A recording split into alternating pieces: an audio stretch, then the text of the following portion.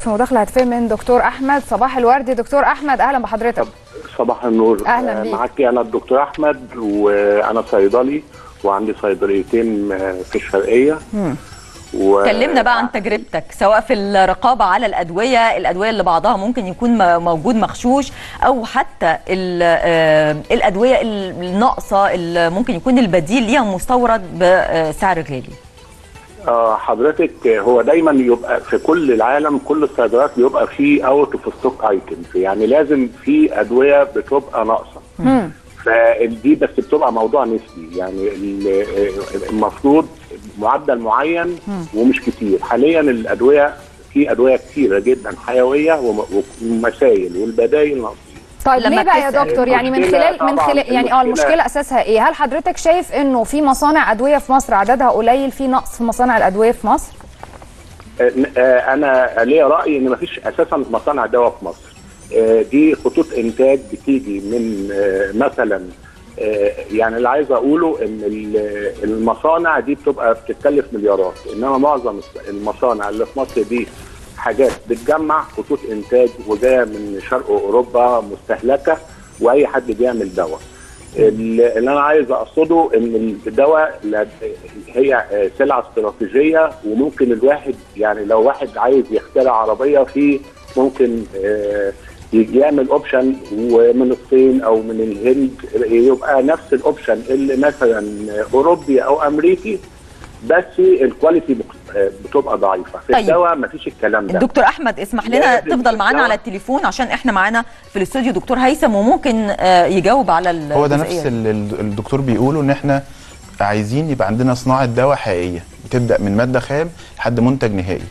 آه لازم المريض يبقى مطمئن إنه زي ما الدكتور أحمد بيقول إنه ما- ما فيش حاجة اسمها آه جايبينها الجودة بتاعتها أقل. لا الدواء دواء. يعني ما في وبيتحلل وبيتراقب. ف آه وإحنا بقالنا يعني إحنا صناعة الدواء في مصر من الثلاثينات تقريبا آه المرضى المصريين كلهم بيتعالجوا بدواء مصري بس ده كان قبل كده من الثلاثينات زي ما حضرتك قلت. لا مؤخرا في تدهور بشكل كبير جدا. ملحوظ لا يعني. حضرتك إحنا الأول نس- ن- نوصل لل- للمريض المعلومه صح. إن أنت حضرتك بتتعالج بقالك سنين أيوة. بالدواء المصري. يعني الدواء المصري أهو فعال وكويس. بالعكس ده أنا عايز أقول لحضرتك ان رخص سعر الدواء المصري بيخلينا نصدر لبره. الحاجة الثانية انه بيقلل الغش فيه. طيب دكتور هيثم دكتور أحمد أشار لنقطة بيقول لك إحنا ما عندناش حاجة اسمها مصنع أدوية في مصر.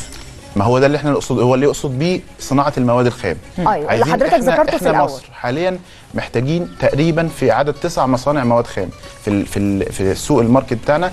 plus إن إحنا خلي بال حضرتك إن إحنا عندنا سوق مفتوح في أفريقيا وعندنا في الشرق الأوسط إن إحنا نقدر نصدر له. والسعودية جارتنا عملت مصنع مواد خام يعني آه، في 2013 على ما أذكر. آه، خلاص إحنا بقى بالنسبة لنا اماست يعني لازم دلوقتي واجب علينا إن إحنا نتجه لصناعة المواد الخام.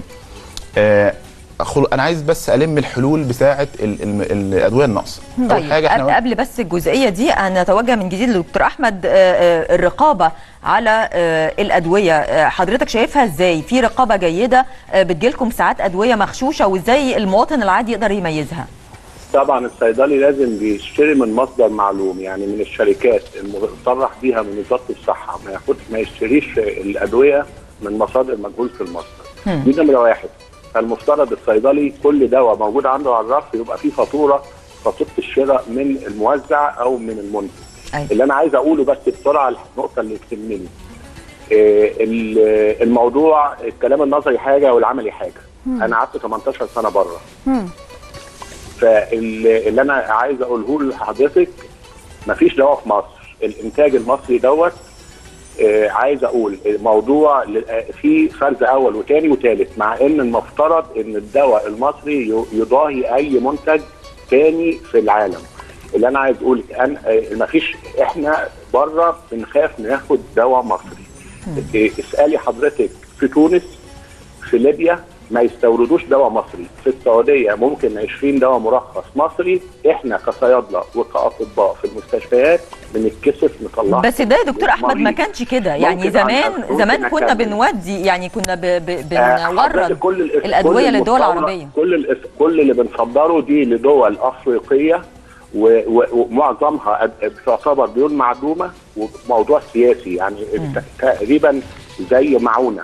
أيوة. إنما الم... اللي عايز أقصده لحضرتك إنه آه وزارة الصحة بتحلل والدواء ده هو زي الدواء دوت الدواء المصري زي المستورد إنما clinically داخل جسم المريض في test ثانية في اختبارات bioavailability حتى في الإنتاج المصري ممكن co-amoxiclav أنا طبعا مش هقول أسماء تجارية ولا شركات أيوة. ممكن 10 شركات مصرية بتنتجه بتلاقي ال- ال- ال trade name الأساسي وشركة أو اثنين من الاستثمارية دول بيعمل effect يعني الدكاترة يعني اللي يتكلم في الدواء لازم يبقى دكتور صيدلي قاعد في صيدلية لا هو واحد من وزارة الصحة ولا من نقابة الصيادلة ولا دكتور في كلية الصيدلة. دكتور طيب دكتور أحمد حضرتك معلش بعد إذن حضرتك حضرتك ذكرت إنك قعدت 18 سنة بره صح؟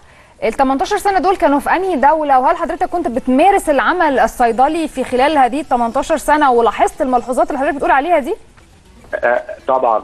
آه، دلوقتي إحنا المر... إحنا بن... بنواجه مرضى. يعني اللي بيتكلم على نقص الدواء أو ال quality بتاعه الأدوية لازم يبقى دكتور في عيادة بيشوف آلاف ال- المرضى بيبقى عارف ال quality الشركة دي افكتيف ده دواء فعال ده دواء مش فعال. نفس المادة.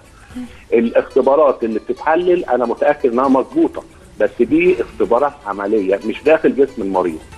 فالكلام العملي إحنا عارفين. ده بيعمل دواء دواء كويس وده دواء مش كويس.